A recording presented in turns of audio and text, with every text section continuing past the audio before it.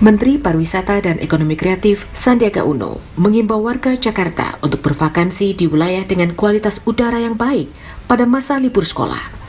Hal ini Sandi sampaikan di kantor Kemen Parekraf Jakarta pada Senin 24 Juni, seiring dengan indeks kualitas udara di ibu kota yang saat ini berada pada kondisi yang tidak baik.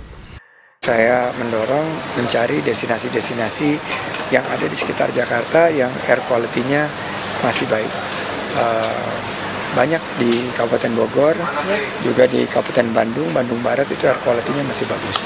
Jadi uh, kita bisa healing sembari bersihkan juga eh, paru-paru uh, kita dengan menghirup udara yang sehat. Menparekraf menjelaskan, ia mendorong warga untuk berlibur keluar Jakarta kala libur sekolah karena dapat meningkatkan ekonomi pariwisata di destinasi liburan.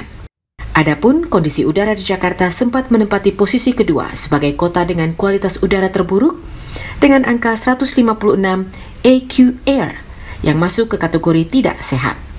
Dari Jakarta, Muhammad Harel, Kantor Berita Antara, mewartakan.